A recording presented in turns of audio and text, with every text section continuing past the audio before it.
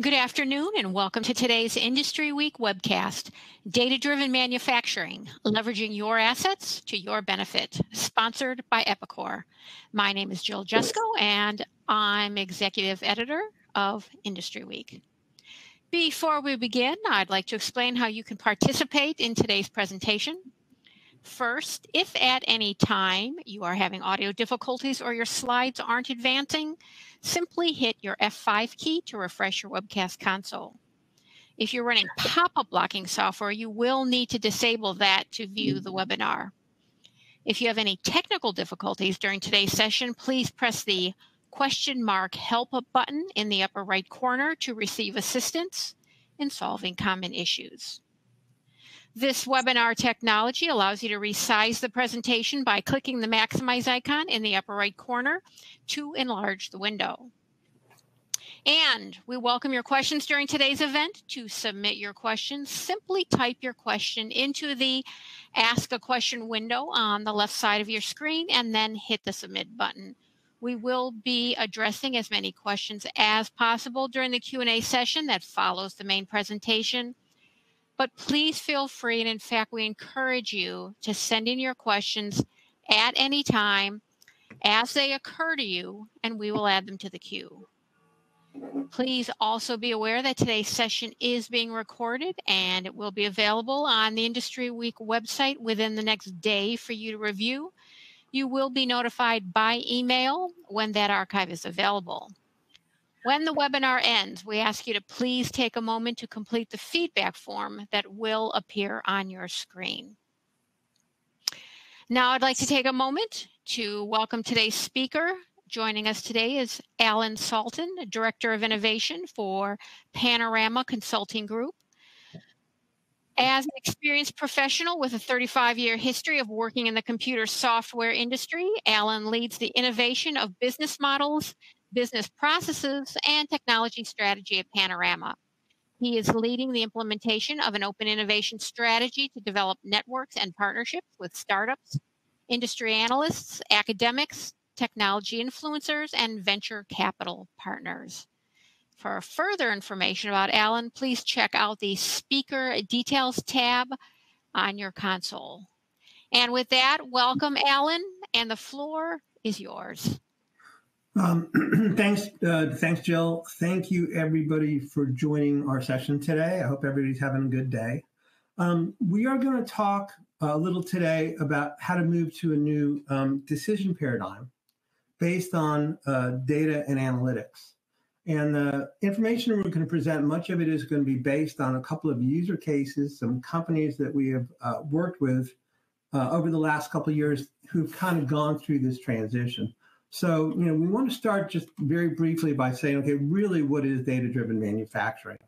Um, and the way we like to look at it is uh, leveraging connectivity and data to transform manufacturing planning, manufacturing execution, uh, which reshapes the value chain um, and then using the, the KPIs and the analytics that you can uh, that you can find through the connectivity um, to optimize your decision making process. So we kind of look at it broadly, um, and it can be applied to any kind of company, um, and it can be applied to pretty much any processes or cross processes. Um, so we want to talk a little bit about the goals uh, for data-driven manufacturing, and these are the goals that were set from the two clients uh, that we we worked with. Um, and I think pretty much you'll understand that really what they're trying to do is, is derive actionable insights. You know, it's good to have data, it's good to have information, and they have information. And most clients have a large a large amount of data, historical data, um, that really they haven't figured out how to leverage into into information. So they wanted to see what, how they could use the data they have and collect more data to make better actionable insights. Using that to be more proactive, to predict future outcomes, um, to uh, to kind of foresee um, what the uh, what the uh, outcomes are going to be. Uh, use advanced analytics um, and a lot of this also talks about, and we'll, we'll mention this later, is the move from uh, descriptive reporting to predictive or prescriptive. So descriptive, uh, descriptive reporting is really retrospective. It's kind of looking back over the last year or the last two years or some period of time um, and using the information you have to tell you what happened. A cash flow report will tell you, you know, retrospectively what cash looked like. When we start talking about predictive analytics, it's more like using the data that you have, customer behavior, uh, transactional behavior, um, and start looking at things like liquidity planning, which is looking forward to understanding what cash flow is going to look like, and then acting upon, uh, getting recommendations to be able to act upon how you can change processes, how you can change transactions, how you can change terms of payment and early uh, payment discounts to actually influence, for instance, cash. When this could apply to manufacturing, predictive maintenance, um, uh, selling, uh, buying anything. Um, and eventually, uh, what we get to, at least the, the stretch goal that was set, is eventually to have kind of a self optimizing system across the supply chain using data, using analytics um, so they can eventually be more productive, more efficient, more profitable. So the first client we're going to talk about um, is a, a Midwest-based manufacturer of chemical products. Um, they have six plants, um, and and the revenue is just under a billion dollars. Now, the, this company has grown uh, through both organic growth um, and acquisition. Um, and uh, because of that, they had lots of different systems. Some of the, the companies they acquired had their own uh, ERP system or their own warehouse management system, um, and they had siloed data. So it was very difficult from a corporate perspective to make uh, any kind of judgment about you know efficiency, productivity, um, profitability, um, because everybody kind of had their own information silo. Um, and another thing they found is that pretty much all of their planning was reactive, you know, uh, chasing after late orders. I don't know when you go through and meet with the clients and, and you say, well, you know, what are your primary issues? They're like, every order is seems like it's running late. So they're always uh, chasing issues because there wasn't a good uh, end-to-end uh, visibility into data. Um, and what they, um, you know, they had some older technology, they had some very new technology, they had a big variety of systems with different capabilities, but they really understood um, is that because they had relatively low margins, it was uh, cost reduction um, that was most important. Um, now, one thing I will say about this client is when we first met them, they had kind of already put together an enterprise transformation team. So they recognized they had some issues. They recognized that they wanted to, to run the company different. So they'd already put a team together to at least conceptualize what it is they wanted to do. Um, and then when we met with them, we talked about what their pain points. Well, one is lack of visibility um, uh, into the margins on the product because they had different systems. They used different costing methods. Um, they had no reporting standards, unified reporting standards, um, and you know all the different systems. For some reason, even if they were making the same product, which is not uh, unusual, would end up having different kind of costings depending on, on the setup of the system and the overheads and the, and the way that was all done. They were also not happy with their on-time delivery. While they were, you know, up in the in the 90%, you know, in a very competitive, low-margin environment, that's that's not um, uh, adequate. So they really wanted to push on-time delivery. Um, part of that was this next one. You know, we would talk to them and they would say, hey, they had every Monday, they had an expediting meeting. And the expediting meeting was really just firefighting. How are we get this product out? How are we going to prioritize one client over another client, and every salesperson or every sales manager was putting their client first. Um, and it, that wasn't really a data driven way of setting priorities. And they had no real data driven way of actually doing production planning. And because we had six plants with six different systems and six different managers, they kind of created information fiefdoms. And everybody was very protective of their information. They didn't want to share information for whatever reason, whether it was because uh, they were they were trying to retain margin for their particular uh, P&L or, or, whatever it happened to be. That each of these information uh, fiefdoms, the managers were very protective, and as as a whole, corporate really had no good, clear idea. They had no clear uh, standards to be able to judge performance, productivity, and profitability. Um, and because so much of, of what they did and so much what their daily operations was was firefighting, um, plant retaining plant personnel, I think, was really hard because people were stressed out. Um, they were working a lot of overtime, uh, and they kind of enabled a culture of blame. You know, because everything seemed to be always chasing the last order. There was always somebody responsibility, and in fact, the the truth is, uh, it was lack of adequate planning and scheduling and understanding an end-to-end value chain that led them to this thing. And, and labor nowadays, I think everybody can understand, is, is a big issue. So it's hard enough to attract the talent. It's equally important to be able to retain them by creating a, a, positive work environment. Our second client was a little different. It's an East Coast uh, manufacturer. They're making bioscience products. Um, they have a single plant, um, and they have an independent uh, finance and logistics production company. And the reason is uh, because they started out pretty much as an R&D uh, entity. They, they were doing research or developing product. They were more um, only focused initially on the financial perspective and about costs and people and uh, and timesheets. Um, and I think there was an initial idea that well maybe when we get to production we'll just outsource it. We'll find a contract manufacturer um, and so, so the whole idea of production and logistics was kind of secondary to what they wanted to do. Um, and given the the, pro- the market they're in and the products they were developing, this idea of quality um, and manufacturing uptime um, was really important. Even though it's a bio, biosciences product, it was uh, low dollar, you know, little higher revenue, but you know, it really was about being able to um, to get uh, orders out, um, to have good quality inspections on their products.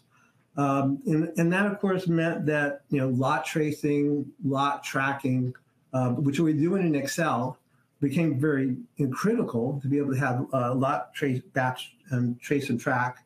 Um, and that took a lot of time. And part of what the issues were is is that the quality management function took a very long time.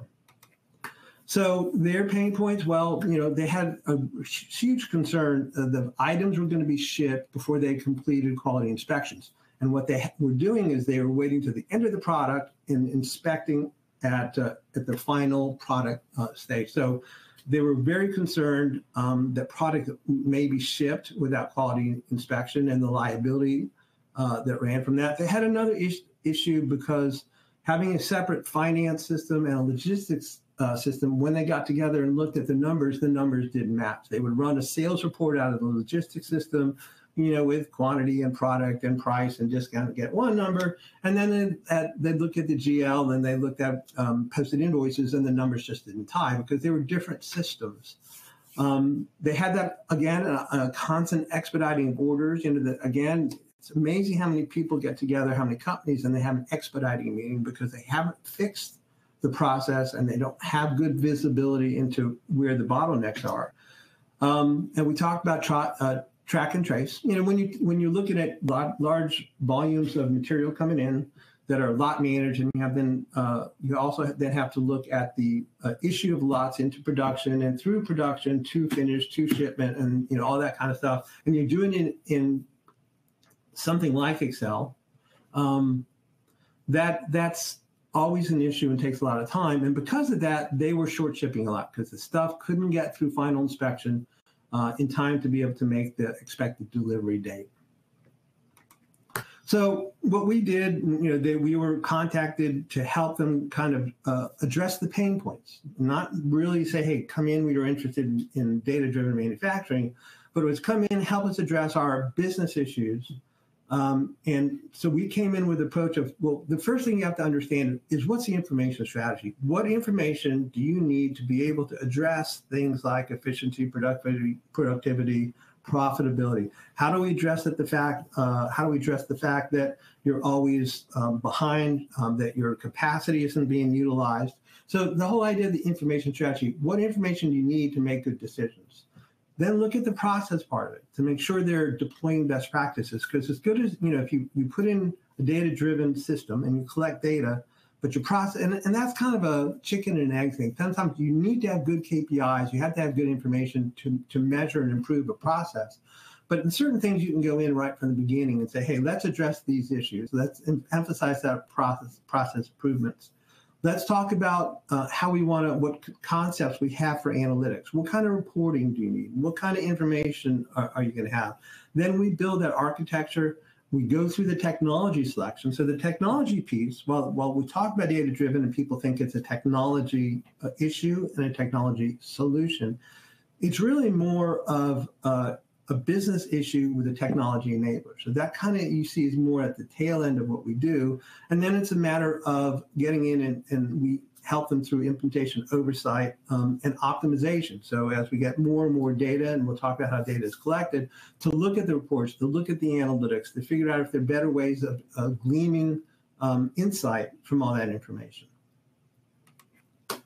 So what does that look like? Well, it's kind of a, a, a bottom up and top down uh, model that we work with. One is to understand the corporate um, objectives. You know, what is it? And we always start every engagement with a kind of a strategy overview. What's a three to five, 10 year uh, vision of where the company is going to be? Because that starts driving the kind of reports, the kind of analytics that you need. How much of it is from customer behavior information? How much of it is from vendor behavior information? How much of it is from internal um, uh, process uh, data?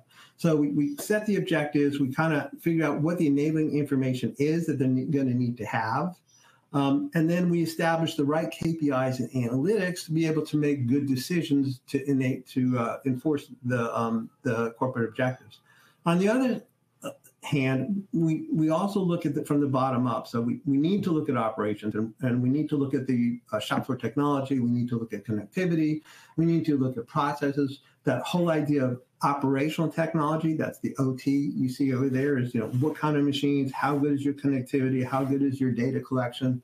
And then how do we take that into the it system and marry that with the analytics to be able to get that kind of information? And it's a two-way flow so that the information goes up to the top so to the, the management level the business level so they make good good good decisions. And information flows down to the operational level so they know how to better manage um, uh, their day-to-day operations it's that that operational execution stuff is also based on really good information.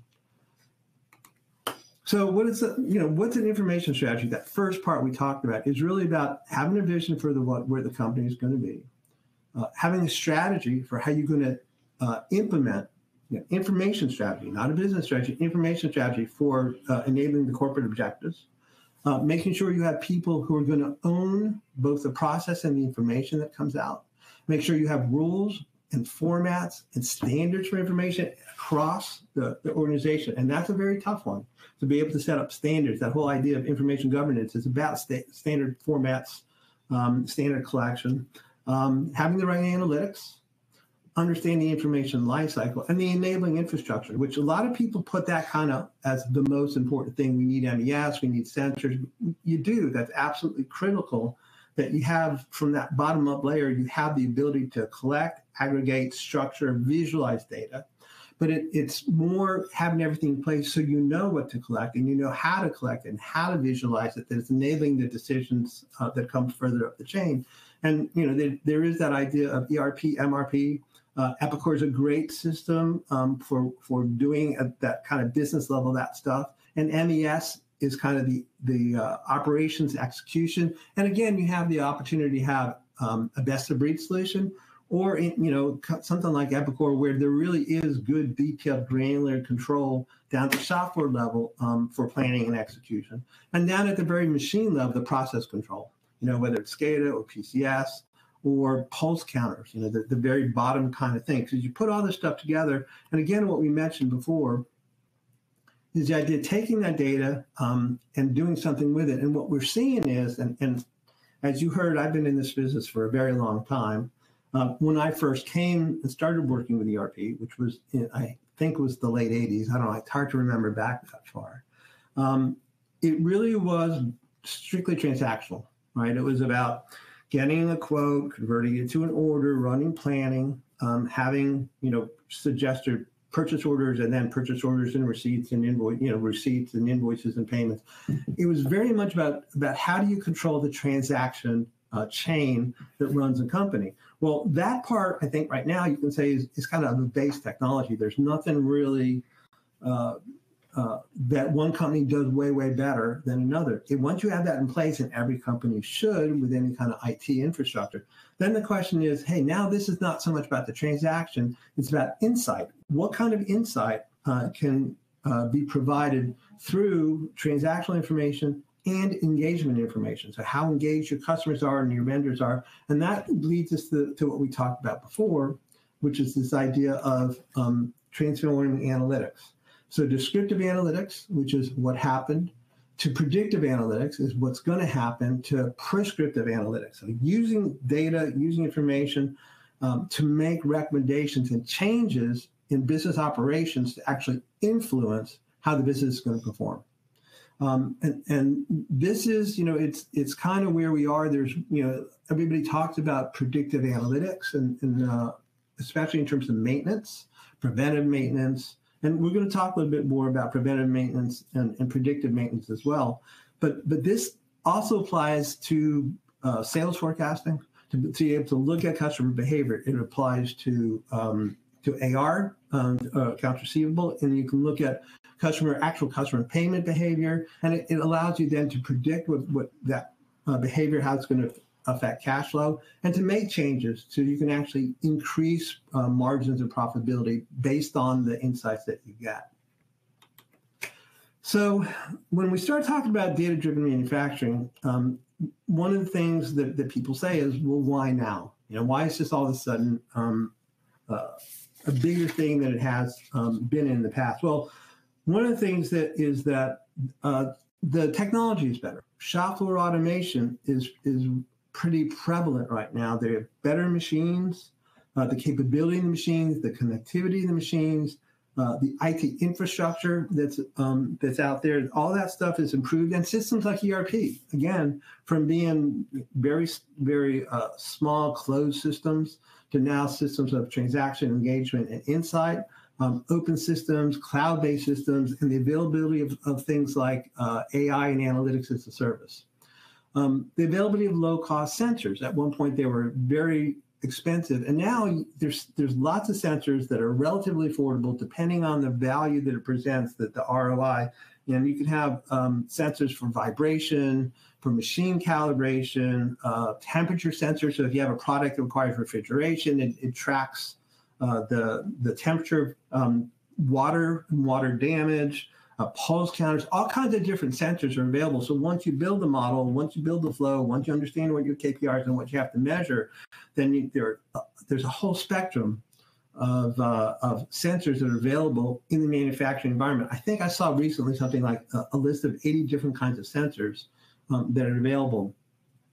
Uh, internet connectivity is also, of course, something that that is uh, hugely important, um, and and it's not just you know the, what's in the office but plant shop floor connectivity whether it's wired or wireless makes a big difference.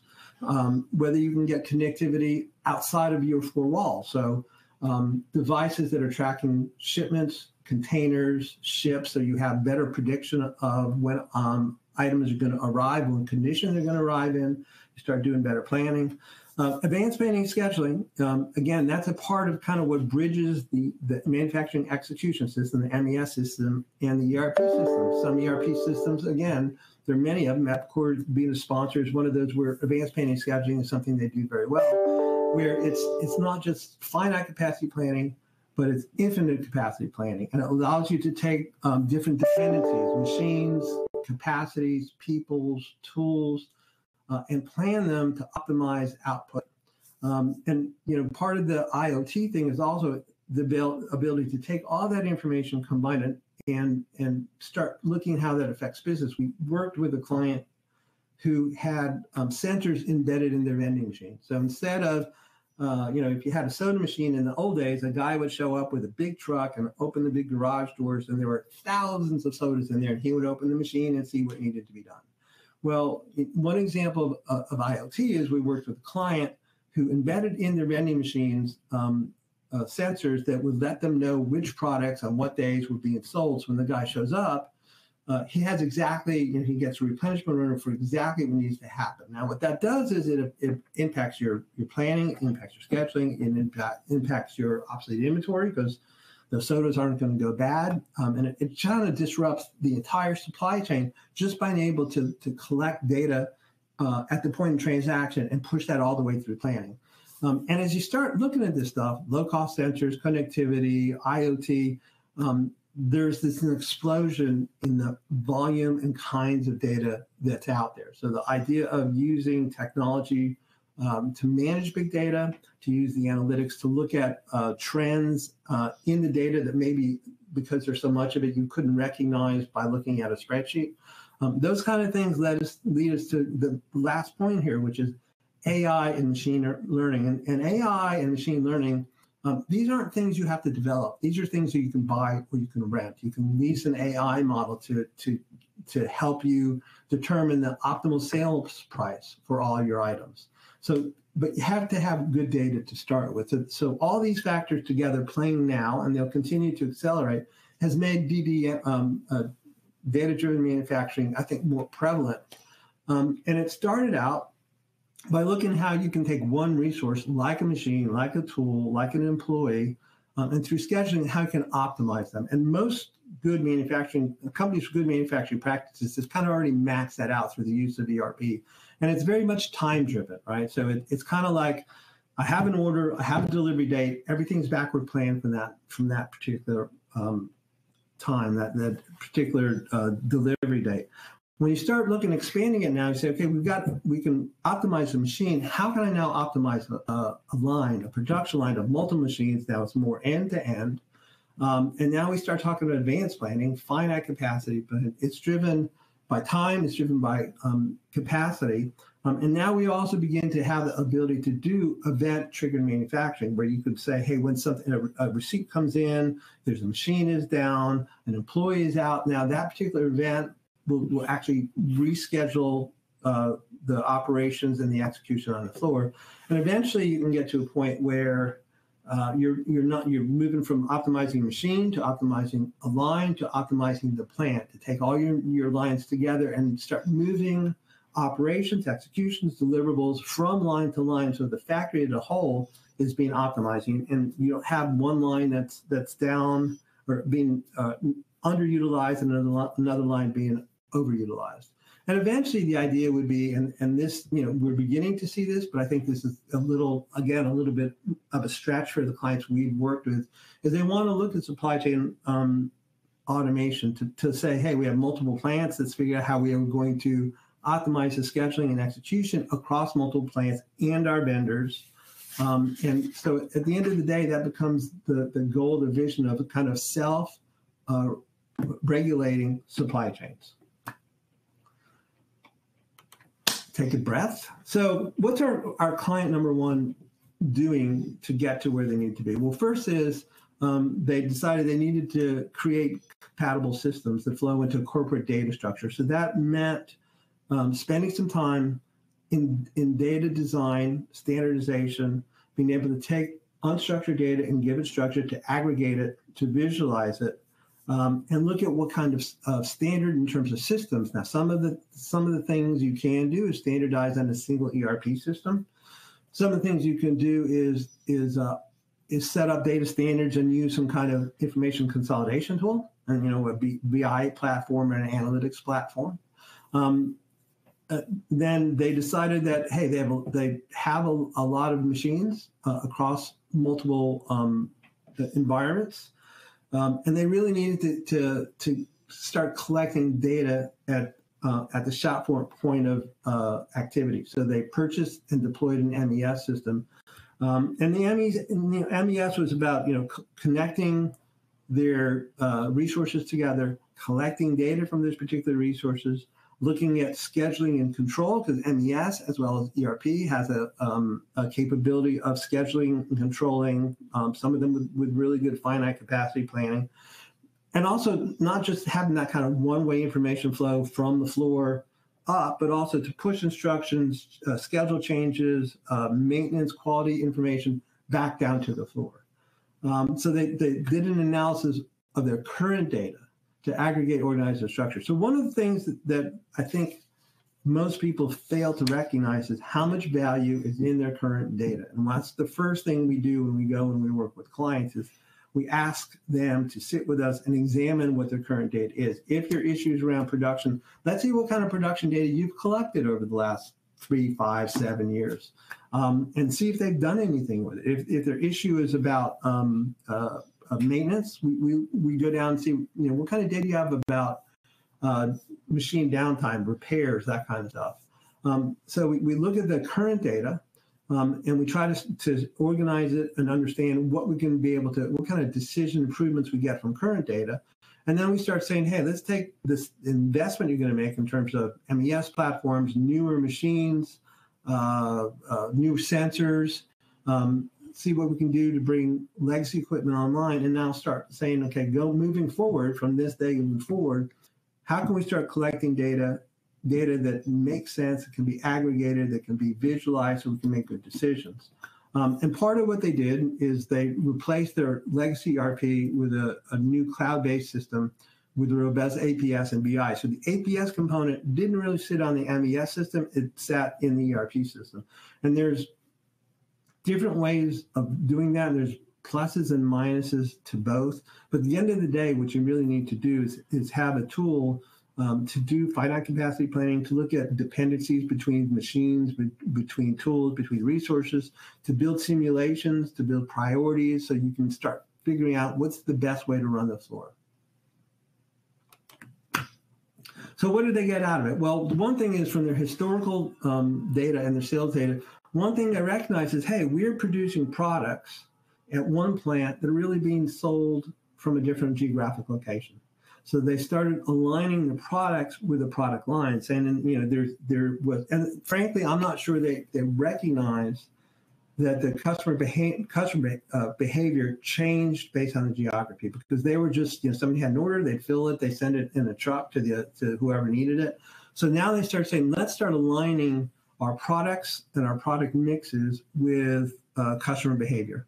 Um, so that sales data allowed them to, to do that alignment, um, which reduced obsolete inventory, um, which uh, reduced transportation costs, reduced um, fill time.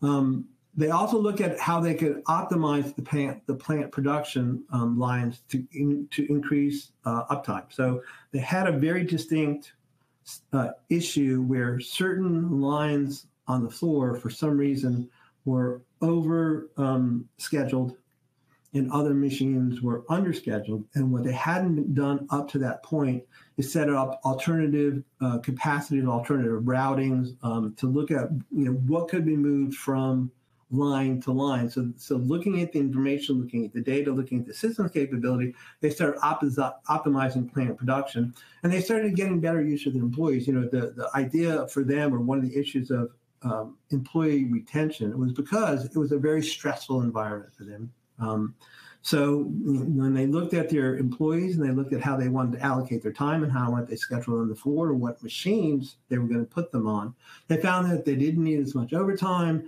Um, it's a little early to say exactly if their employee retention is going to go up, um, but certainly it seems like the uh, cultural environment on the shop floor is better than it was when they were firefighting and blaming each other for late uh, late deliveries. Our second client, well, the first thing they did is they said, okay, we can't have a separate finance organization and a separate production organization. We can't have a separate finance system and a separate logistics and production system. So we have to align the organization around end to end processes.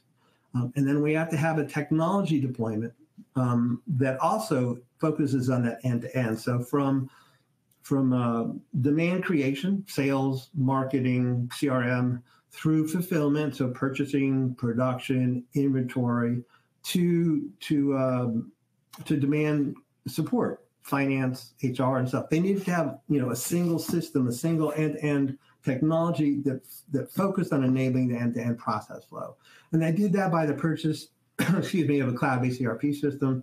Um, and, and also saying, hey, we're not going to use one set of uh, reporting tools for finance and one set of reporting tools for production and one for inventory. Instead, they have a single data analytics platform. So it's a single tra- um, uh, transparency for all users. Um, they, they put in a quality based, uh, a cloud based quality management system. So again, part of what they wanted to to get away from is always worrying about did this thing get inspected? We have to go in and look at the products in the, the finished goods warehouse to see have they been inspected? Did they pass inspection? So instead of uh, kind of looking at work in progress, um, they started spending more time and money, frankly, on monitoring the condition and the calibration on the machines. And the byproduct of that is their uh, their inspection time um, went down and their ability to, to get items out.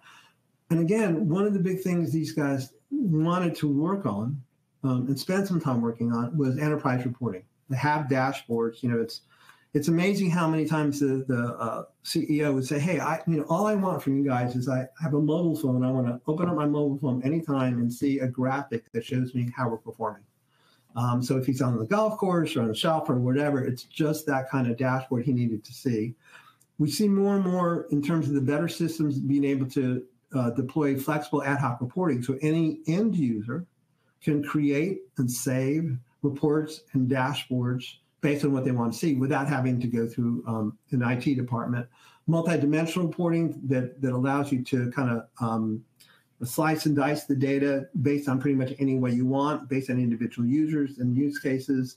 Um, you know, performance reporting, financial reports, all that stuff had to be in a single uh, uh, platform, BI platform, analytics platform. So that was a big step forward for them because the first time in a company, everybody started looking at the same data and talking the same language. So that, that was a, a huge part of what they did.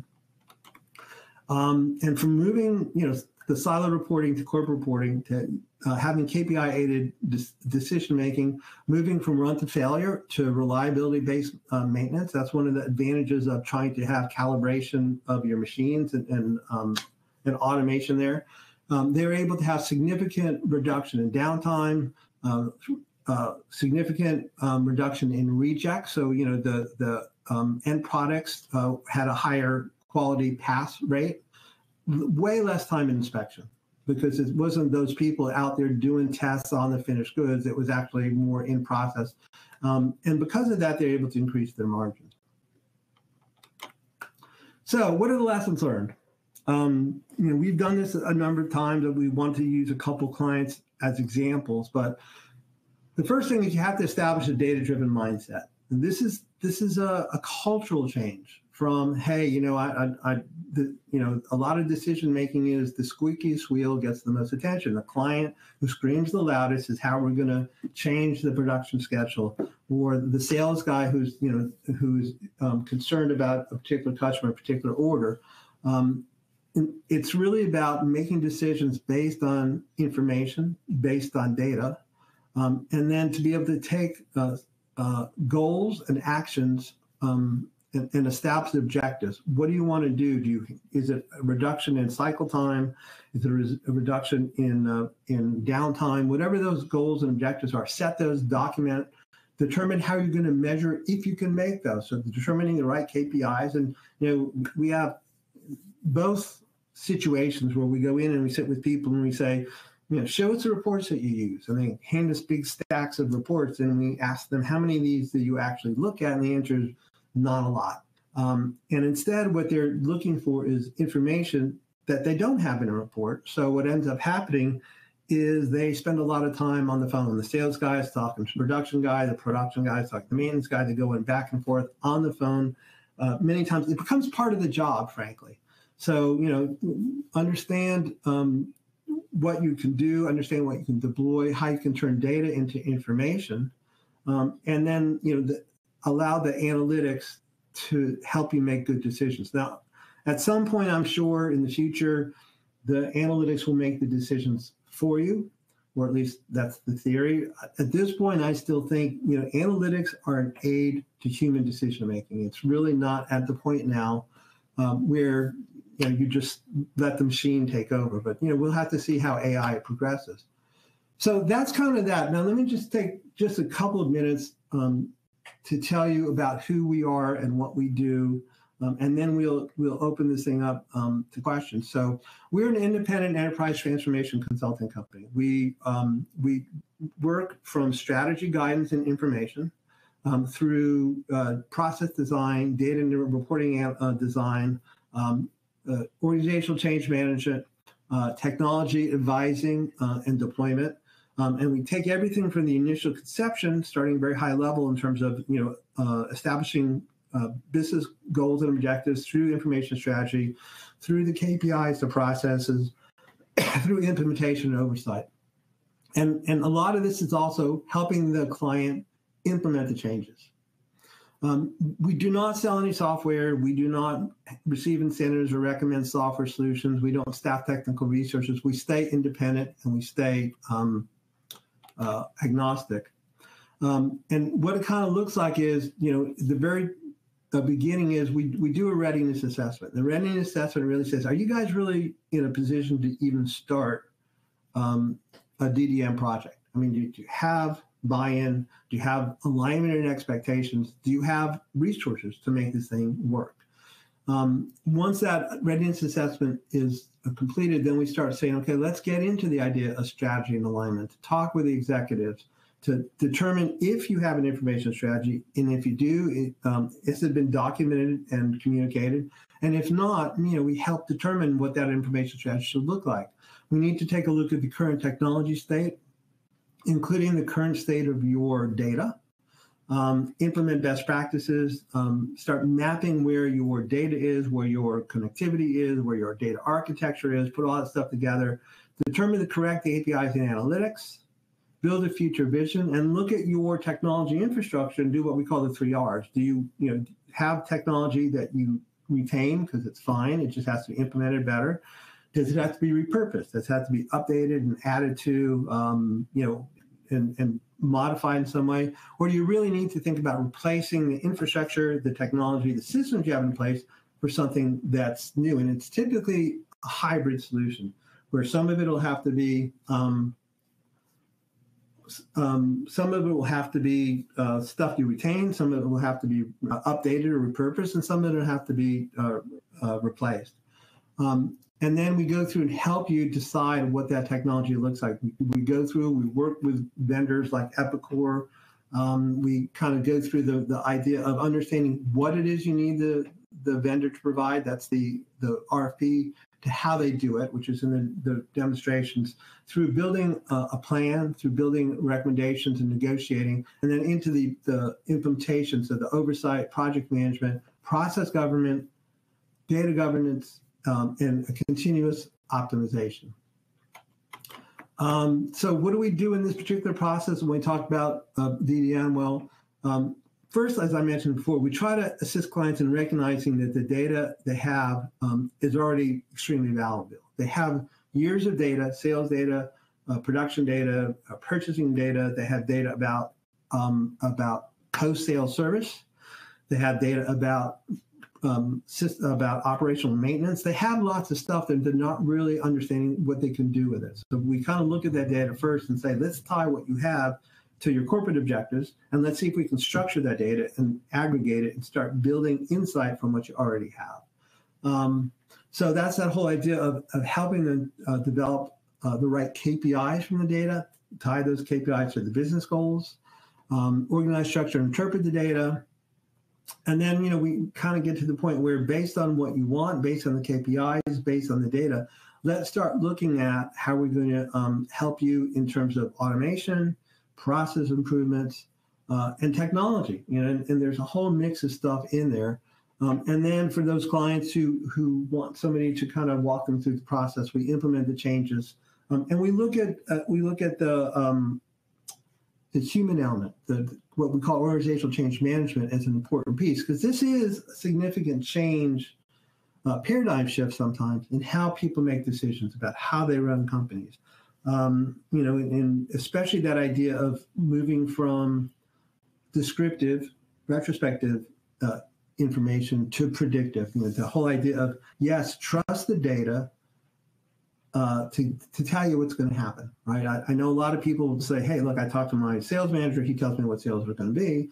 And, and we, we believe in that because human insight is very important. But there's a lot of insight that's available from the data. So you can see trends and anal- uh, through the analysis. And sometimes the trends are too small or there's too much data for humans to recognize. Um, so uh, that's what we do. Um, we've worked with uh, up to this point. We've like had six to seven hundred engagements in all industries: manufacturing, discrete process, biosciences, uh, financials. Um, you know, pretty much medical devices, everything. Um, and like I said, we've worked with with many, many different ERP systems. We keep a knowledge base of all the systems. We have a group that that does our research, that publishes our research, and keeps that um, that knowledge base up to date of, of all the different systems. So when we understand your requirements, we understand your KPI, your, your analytical requirements, we can match you to a solution or a best of breed combination of solutions, be able to realize business benefit. Uh, and that's what we got. Um, Jill? Okay, thank you, Alan. That was a great presentation. Uh, we have had a few questions come in, so we are going to jump right into those. Um, I would like to give Alan just a chance to take a breather, however. So, so I am going to first uh, tell our audience members or ask our audience members as a reminder, please take a moment um, to complete the feedback form that will appear on the screen at the end of the webinar. Please don't forget to do that. And uh, if you haven't submitted a question and you still have one, please do that now. And with that, Alan, I am going to jump to our first question, which is What is the biggest challenge to moving to a data driven environment? Um, so I, I, think I think there's there's two. I know they're asking the biggest, but the, I think the single biggest one is siloed data sources and um, legacy systems that that you know, many of the systems were designed not to talk to each other, or, or they weren't designed to talk to one another. Uh, a lot of the stuff that was purchased um, was really about solving the point solution or point problem with the point solution. And now we we really need to start thinking about um, how do you aggregate data against across disparate systems? Um, how do you give meaning to that data? Um, so the, the first, I think the, the biggest challenge right now is to be able to look at the data you have, understand how you collect it, how you can aggregate it, how you can give it meaning. Okay, thank you. Um, I am going to jump to this next question that says, can you go back to the ROI slide and describe the ROI of the customer again? I can. Let's see if I can. Oh, let's go to, I think it was this one. Nope. Uh, I'm trying to click on the right slide. There it is. Is that the one? I hope that's the one. So now what you're looking at is um, the ROI that these people got. Um, uh, and there were two different clients, but this is the first client where they really looked at, and I'll, I'll go through both of these slides real quick. So the first client, um, it was really about because they they could align um, production with customer demand. Um, they did a way better job of reducing obsolete inventory because they weren't they weren't producing stuff that was going to sit in inventory for a very long time where there was no demand. Um, and they also, uh, because they were building a smaller variety of products um, in, a, in each plant, they're able to um, to uh, increase, uh, reduce the, the, the how much fill time it took. So it took shorter times to be able to get to all the stuff. So less scrap, less rework, less um, obsolete inventory, and the, they're able to fill their uh, their orders in 30% less time. And again, the idea of reduction of overtime because there were better utilization of people and the better u- utilization of, uh, of resources. The next one, let me see if I can find it here, was this one. Was this one? No? Hang on a second. I'm trying to find the right slide. This one. Okay, so this is the, the one who really, um, and I think, you know, when we started looking at end to end, so this is really about one single um, solution. Um, and, and I think the first client had a better use of big data um, and analytics and AI than these guys did. But, you know, when you talked about how you can use uh, AI and machine learning in action, that we, and, which I think is part of the question, you know, you have a lot of data um, and, and in the instance, I'm going to go back to the first client. They had tons of data. They had years and years and years of data because it was a relatively mature company, and then lots and lots of sales data. Um, and every year, they were trying to figure out what the optimal selling price was for their product, so they could so they could you know, reach optimal margin without losing sales. So they had quote data, they had sales data, they had margin data, and there was just tons and tons of it. So they um, what they did was actually they rented an AI model to push all this data in. Here's you know 10 years of quotes and 10 years of sales and 10 years of costs. Um, and for each of the products, it would develop um, uh, an optimal selling price.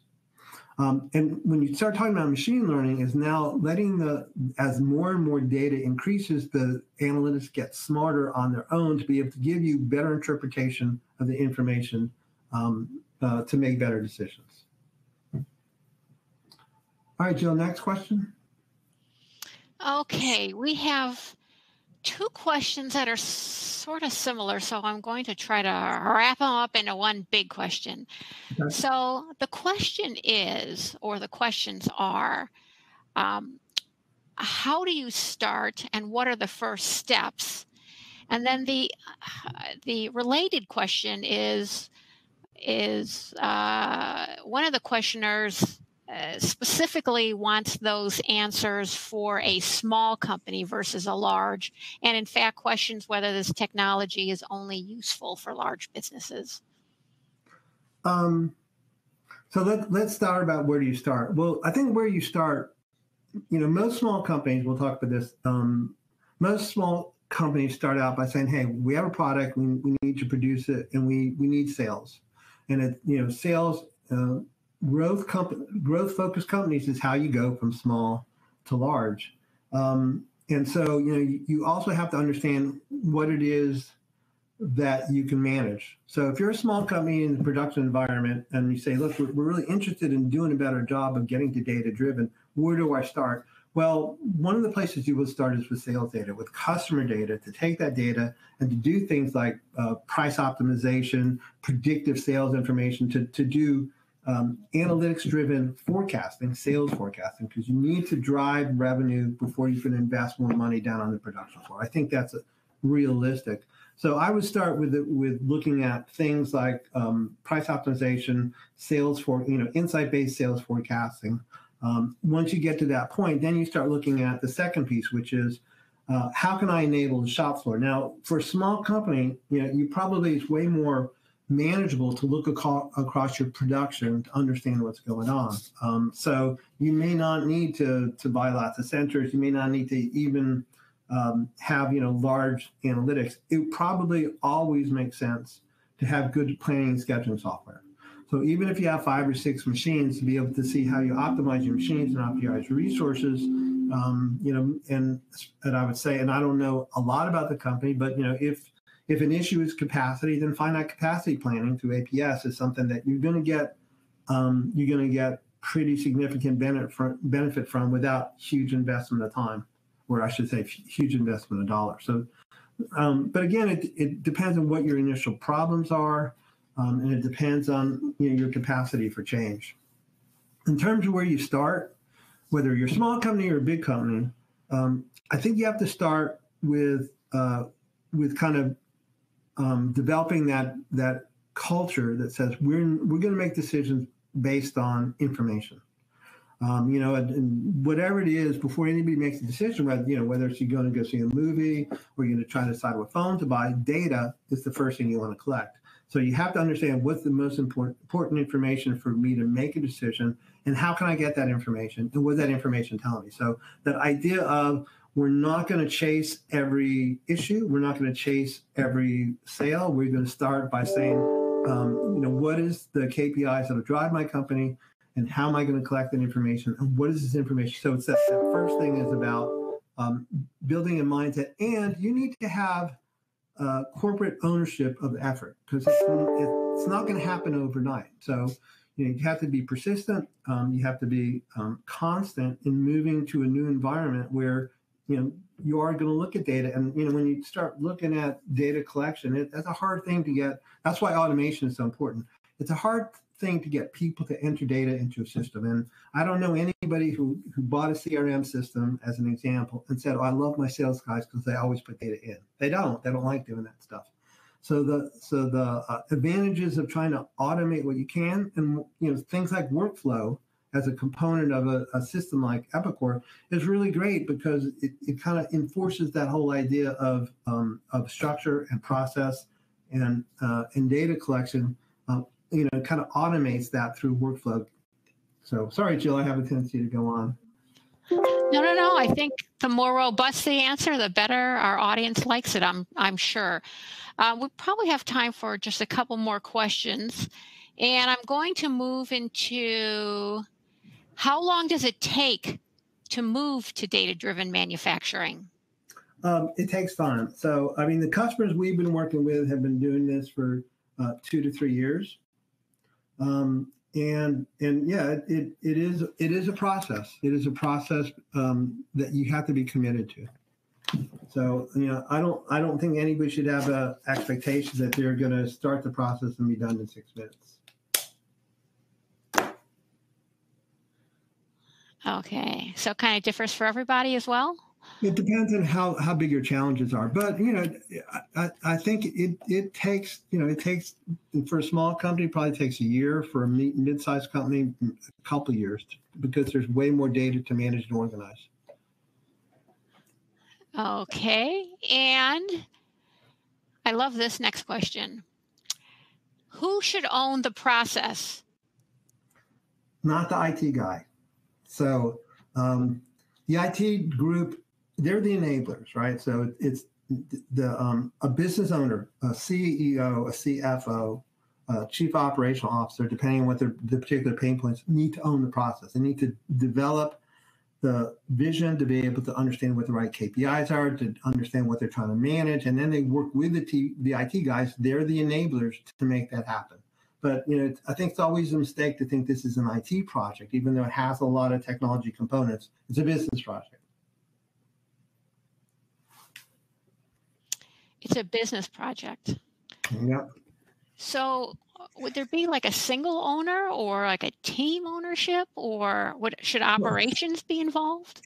Well, it depends on what, what your what your the issues are that you're trying to solve. You should always have a single corporate owner, and then you have a, like a steering committee to help them make decisions. But on a day-to-day basis, you need a person to drive it because if you start putting several people as sponsors. And there was an old joke. You know, do you know what a camel is? A camel is a horse designed by committee. So I always believe that you have a single owner who drives the process, who, who you know makes decisions. That there's a steering committee behind them um, that helps them through the decision making process, um, and make sure you know that that the, those decisions are validated.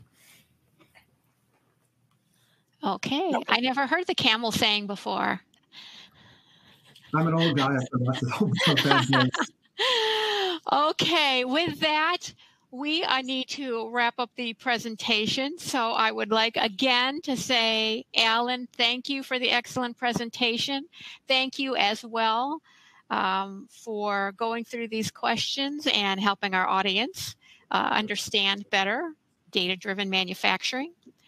So I'd like to thank obviously Alan, as I said, and I would like to thank our sponsor, Epicor, and of course, most of all, I'd like to thank you, our audience members, for your kind attention as well as your great questions. And finally, on behalf of IndustryWeek, I'd like to say thanks and have a great, productive remainder of your day. Thank you.